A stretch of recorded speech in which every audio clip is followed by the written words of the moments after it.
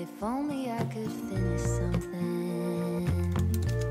Run straight through to the end. Close a chapter dignified. Dang, girl, you did it again. But will it ever be enough? Hmm. When Oh, yeah, New York. on trying to keep it themselves. What do I actually Will I want? ever settle down? Ask themselves that. If everyone asked themselves that question, I feel like the world would be a much better place.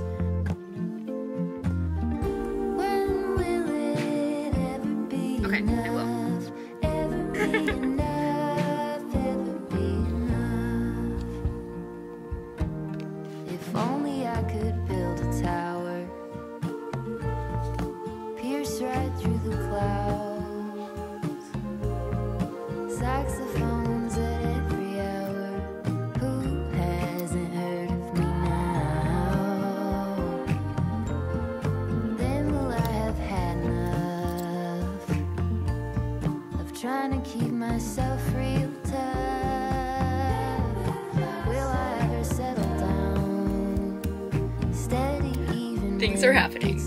I'm so excited and I really hope everything comes together and comes to fruition.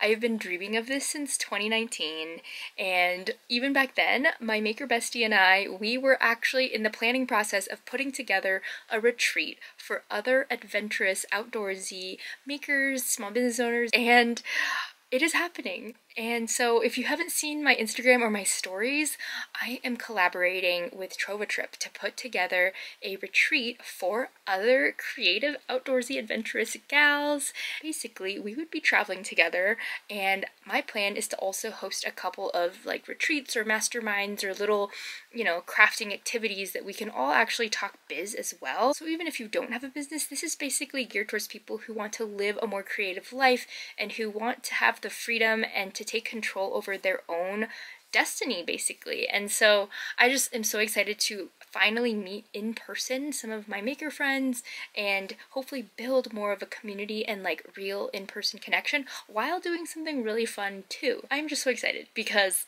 I've been thinking about it for so long and it's just finally in this planning phase. But anyway, this morning I was texting with one of my maker friends and I caught up with my sister.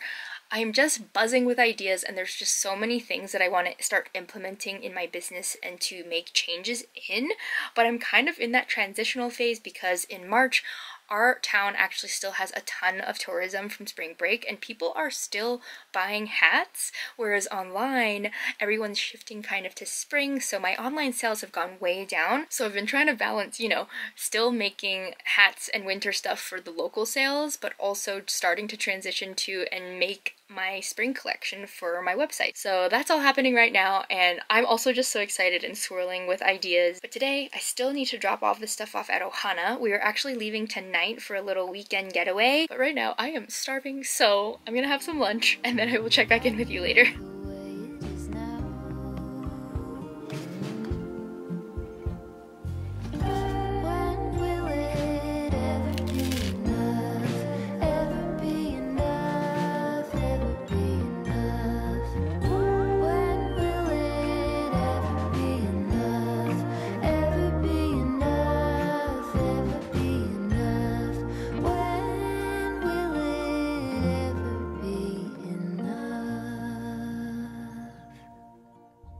my god, downtown is so busy right now.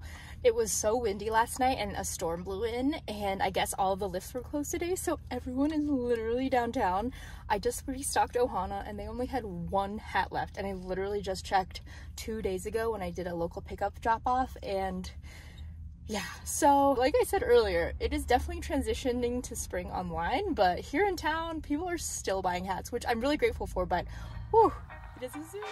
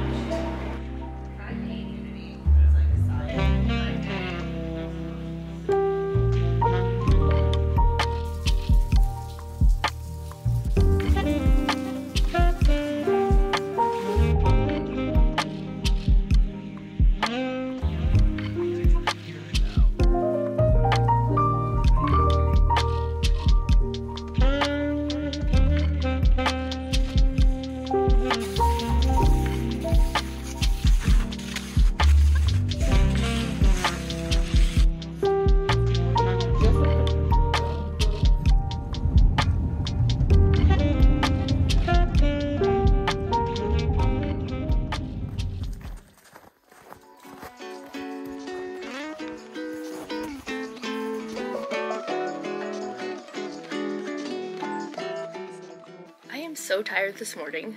I don't know why because we just had a really relaxing weekend, but I think maybe as I've gotten older, I've just become more of an ambivert than as extroverted as I used to be. And so it's like I'm so energized and relaxed from spending time with friends in a situation like that and like having a really fun staycation. Um, but I also haven't had as much alone time lately, so maybe that's part of it. But I don't know, interesting to think about. I don't know if this is something you've experienced as you've gotten older, but I certainly have. But the weekend was so fun. We went to Winter Park, which is another ski resort that's only about an hour and a half away from where we live. Um, and we don't really ski at other places very often because we live in a ski town. But my friend has access to a cabin, and so she was like, you guys should just come and hang out, and it was great. So I did make up some samples um, in some of our downtime of some new spring items that I'm really excited about. Um, I'm putting together the Fireside headband. So I have two samples. They're both a little bit different in width, but I don't know if you can see. So I made a thinner one and a thicker one. So I'm not sure which one I like better. I feel like I actually don't look good in headbands, but this one's a little bit wider. Um, and this one is not quite as wide, but still covers all of your ears. I think I like this one better. I don't know. You tell me what you think. But yeah, I am putting together the spring collection. I don't actually know when I'm going to release that because we're actually going on another trip next week. Um, everything's just coming up so fast. This year has just been so wild. So I haven't quite released any spring items to my local shops yet, but I think online people are starting to feel very springy. So I want to release some spring items on the website. I already have so many ideas for like a summer collection of like hats and totes and things like that, but I can't do them yet. I told myself this year, 2024, my word of the year is focus. So I've been trying to just kind of zoom in a little bit more um, on the things I'm working on and to get those finished first before I think too much and get overwhelmed by the other things that I want to do. But April's almost here. I feel like spring is always just a time of like renewal and rebirth and reawakening. And for my business, April is really the time where I do all of my planning for the next year because in January it's really my busiest time. So I basically just do a word of the year and have like minor intentions percolating. But other than that, I'm still focusing on getting as many things made as possible and just keeping up with all of the content and marketing and just things like that. And then once spring rolls around, I feel like I can really take a step back and do some planning. And then when summer hits, it's kind of like sharing adventures and things like that. But that's where I'm at on the spring collection. And if you're also a knitter, my friend Emily just released a new headband design. That's what we were taking pictures of on our walk earlier. She just released a pattern bundle of four different headbands. So I'll put her info in the description if you want to check that out. I'm not sure when I'll get to releasing the fireside headband knitting pattern, but we'll see because I just released a couple patterns and this week I really just want to focus on working on the spring collection and then getting Ohana back in stock before I go on my trip.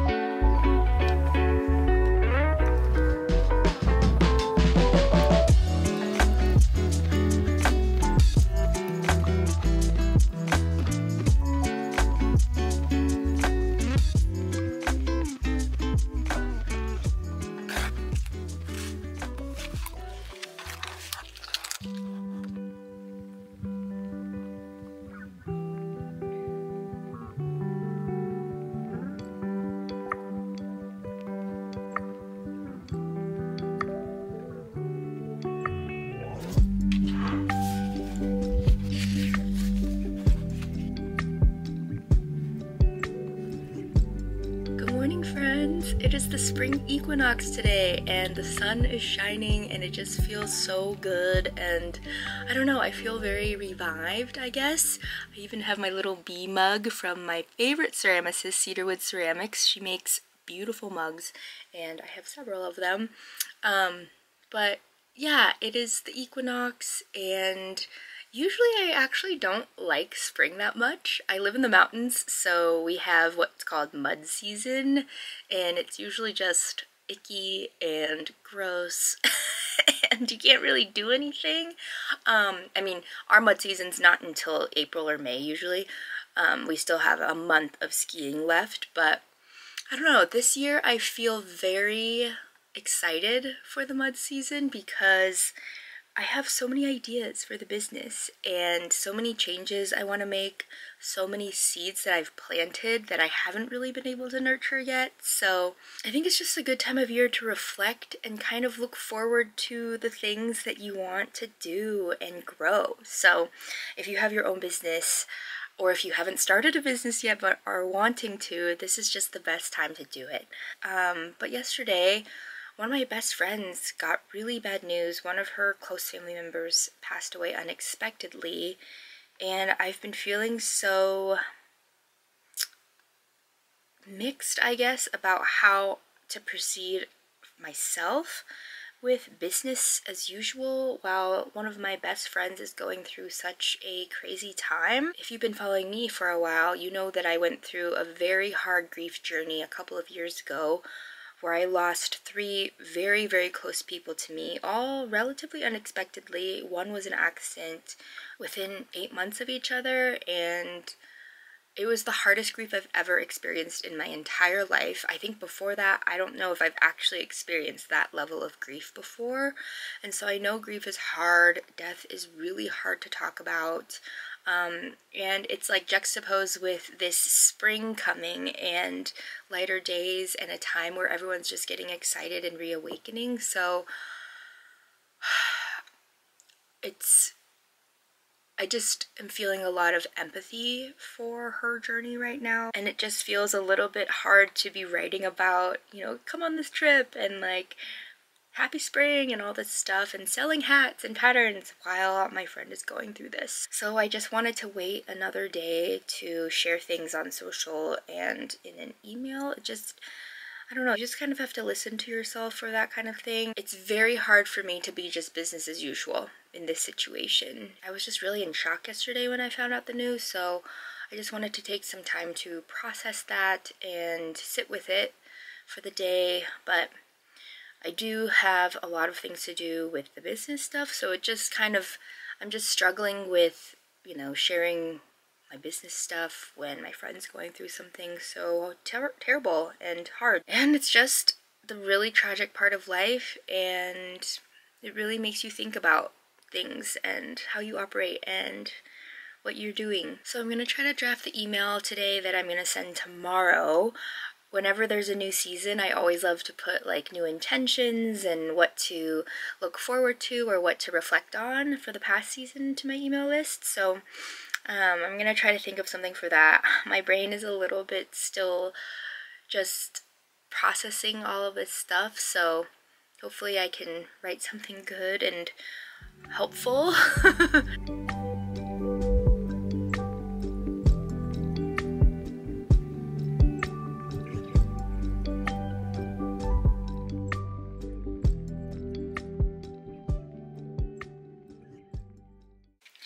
I had a very weirdly emotional day. Um, I was just feeling all over the place, and so I just took it easy. I had a ton on my to-do list, but didn't really end up getting to much of it. But I just really needed to sit down and not do anything, I guess. So today actually marks the eight-year anniversary of getting into a crazy ski accident where I almost lost my arm.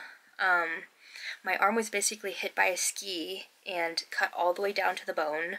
I cut six of my extensor tendons, so I couldn't open my hand, and I ended up having two surgeries just to try to get all of my tendons reconnected. To this day, I actually can't lift my index finger, so if you're a knitter, that's why I taught myself how to knit continental. I used to throw. Um, but that accident really changed the course of my life and for the better. Like, I would not have this business, I would not be where I am today if I didn't get into that accident. At the time, I basically was working 80 hours a week as a chef in a restaurant, like a fine dining restaurant, and I never saw my friends, I never saw Rob. I worked a lot and I loved it. I was so passionate about that job and doing good work in the kitchen, but I was getting paid very little money and just getting into this accident and suddenly rattling myself out of that environment, it really gave me the chance to pause and reflect and question what I was doing and whether this was even a sustainable lifestyle and what I was doing basically. And so that is what sparked initially my idea for doing the business. I had been knitting casually at the time, and then knitting became a therapy for me. And two years later, I basically started Smeeny Beanie Knits. And now I have been four years full time in my business, and I have more time freedom than I've ever had in my life. And I'm just so grateful that I got that chance to pause. Of course, I wish I hadn't gotten that accident in the sense of just my function and the trauma of that, but the chance to pause and reflect really changed everything for me. And so I guess I was just feeling really emotional about that today. And I haven't given my chance to pause lately. And, you know, I think I just let a lot of things build up and I was just really in a weird headspace. But I made that post and I felt a lot better and I was kind of like, wow, that was really a wild time and I'm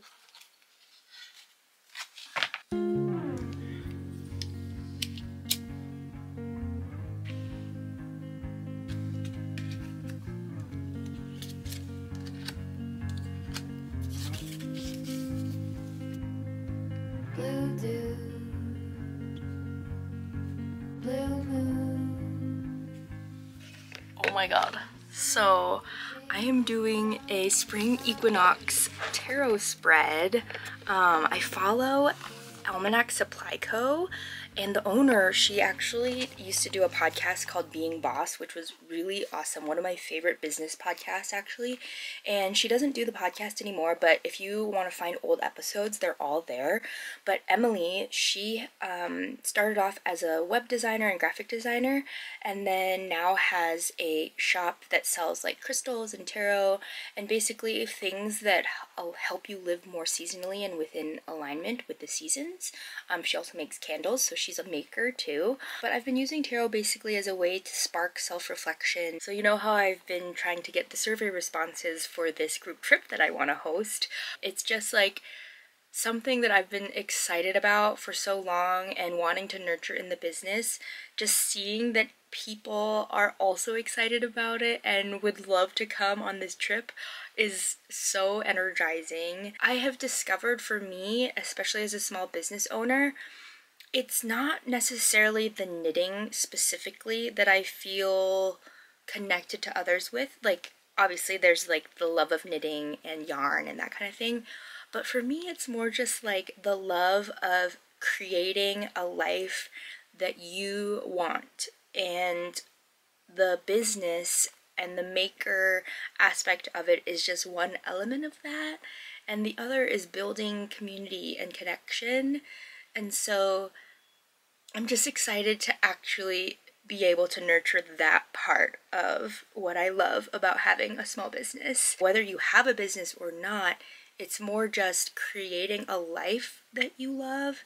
And it's something that we're constantly working towards, right? And for me, that just happens to be having a business, like the creating of the business, the running of the business, and the making changes and evolving and all that stuff. That's all just part of the creativity to me. Um, but anyway, I'm just rambling, but I'm just feeling very inspired and um, so excited that people want to go on a group trip together as well.